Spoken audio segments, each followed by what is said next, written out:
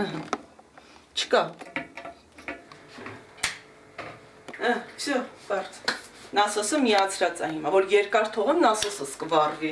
Չարենցի առաջին նրբանցքի շուրջ 10 տանծորակներն ավելի քան 10 նոր ջրին կարոտ են մնացել։ Հերթական ջրանջատումից հետո որոշ տներում ջրամատակարարումը այդպես էլ չի վերականգնվել, որոշներում էլ ջուրը թույլ է հոսում։ Բնակիչների ենթադրությամբ խնդիրը ջրի ճնշումն է։ Ջուրը անջատելուց հետո կանչեցի մեկան, ասին 3 օրվա ընթացքում կդզվի, ոչինչ Ազիզ ջան, այն վաղտ մի քիչ ճլճլում էր։ Իսկ հիմա իրանց գնալուց հետո ընդհանրապես չկա։ Մայր ջրագիծը նույնն է։ Ցածր հատվածում գտնվող տներում ջրամատակարարում կա, բարձրադիր տներում ոչ։ Ջուրջունեցողները հարևաններից են ջուր վերցնում, բայց արդեն ամաչում են։ Մի քիչ էլ անհարմար է, էլի ներուսն եք տալի, առաջվա չի որ բալով։ Այն մարդիկ գումար են մուծում, ինչի մեկ դրա համար բանանեք։ Սանհանգույցից ընդհանրապես չեն կարող օգտվենք, որ ջուր չլինի օգտվես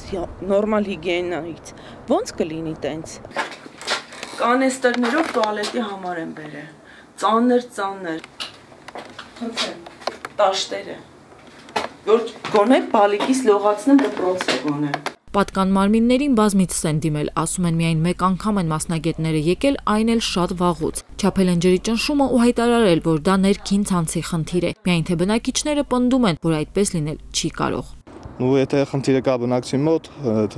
ջրագծով հոսք չերը լինի որ գիշերը մենք ունենում ենք 1-1։ Եթե ներքինը լինի, ջուր չի կա ցանրապես։ Թեկոս այդ 10 եվրոպե, որ ասենք մոմենտալ դրես է։ Միաժամանակ բոլորի տներում խողովակները չէին կարող խցանվել, ասում են բնակիչները ու հավելում, որ իրական խնդիրը գտնելու համար Երևան ջրից այլևս ինժեներներ չեն գալիս։ Մասնագետների մոտ ինքներս գնացինք, բացատրեցին, որ իրենք պատասխանատու են ջուրը միացման կետին հասցնելու համար։ Դրանից հետո խնդիրը բնակչինն է։ Պնդում են, որ միացման կետում ջրի ճնշումը նորմալ է, բայց խնդիրը հասկանալու համար մասնագետները այնուամենայնիվ այցելեցին բնակիչներին, արդեն մեզ հետ։ Եթե այս տունը ունենում է ջուր, Չունի,